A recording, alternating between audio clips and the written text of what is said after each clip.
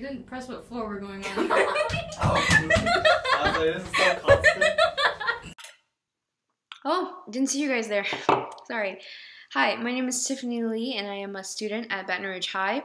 Um, I'm also enrolled in a class called Art History AP, and this is a project for that class. Um, this project is um, going to be about me telling you guys about a piece that I uh, saw over at the, at the LSU Art Museum. Um, if you guys look around the channel earlier, most of the students went to NOMA, but I was too cheap. Just kidding. I had three tests that day. Anyway, let's go on to the uh, piece. All right, so my piece is called Woman Pulling a Donkey. N- not that piece. That one. All right. So my um, artwork is called Silhouette for the Chat Noir Shadow Theater Woman Pulling a Donkey. Unidentified artist, circa 1890, made of zinc metal sheets. And I got all of my information from www.nyu.edu. All right, so let's talk about the F2C2 about this piece. So, um, as you can tell, form wise, uh, there should be, you're like, there should be a lot of attention on the woman. And I think this is because of two main things. Um, firstly, it's because the entire piece is placed at slopes. And um, it might not be obvious at first, but if you look at it for a while, it comes out. Um, starting from the man's bindle, you go down and it places your direction towards the donkey's head. And from there, it goes on to the woman. And secondly, because of the spacing, um, the man and the donkey seem to be really connected with each other and separated from the woman. There's a lot of space between each of these um, individual characters, um, especially between the man and the donkey and the woman. And that leads your sole direction and sole attention on the woman herself, which I think is the main component of this piece. Um, for content, um, this piece is made out of zinc metal sheets, which I think helps a lot with the exactness. Um, this piece is used for shadow theater, and so you have to really depict those puppets um, exactly. Um, if you guys don't know what shadow puppeting is, here's a picture. There you go, there it is. All right, so that's just that's that's your shadow puppet. Um, back to the piece. All right. So um, as I said, it really helps with the exactness of this piece that it's made out of metal. Um, in the beginning of French shadow theater, most of the puppets were made out of cardboard, which even if you carve it really well, it would still be not as exact as metal sheets.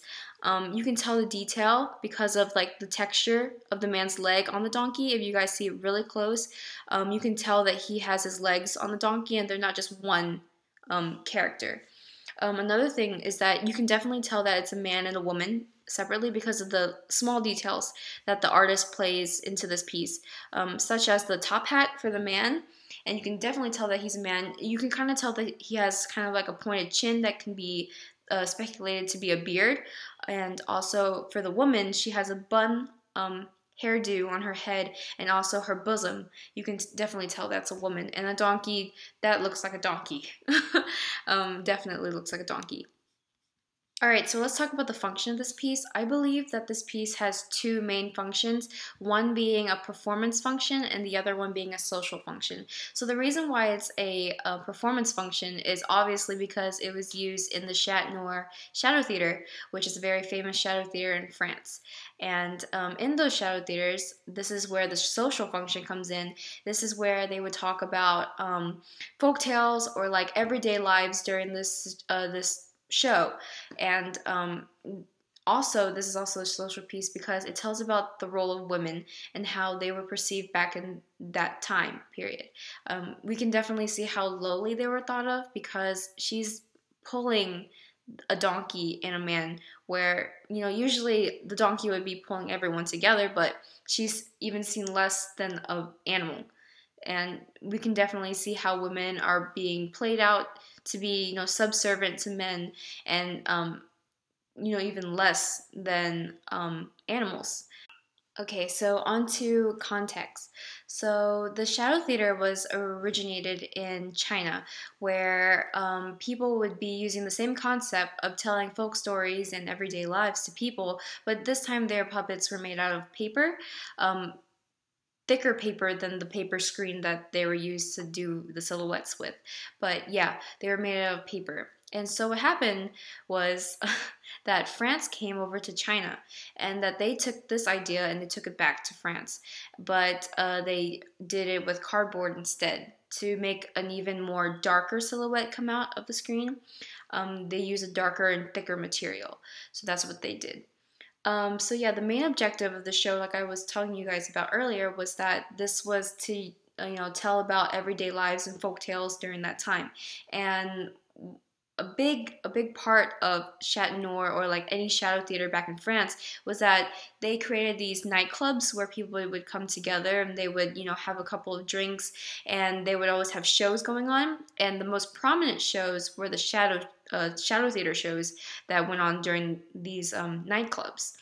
Um, and that's why these audiences that the shadow theater would bring could be up to like a couple people in like a local bar to like a couple of hundred people in the even bigger theater so that's how shadow theater got into its um got into um, a really a really big part of French culture, and it's actually still really big in France and also really big in China as well. Um, I know, I know a bunch of other uh, places in Asia and Europe do shadow theater, and they talk about their own lives um, and their own stories too in those uh, shows.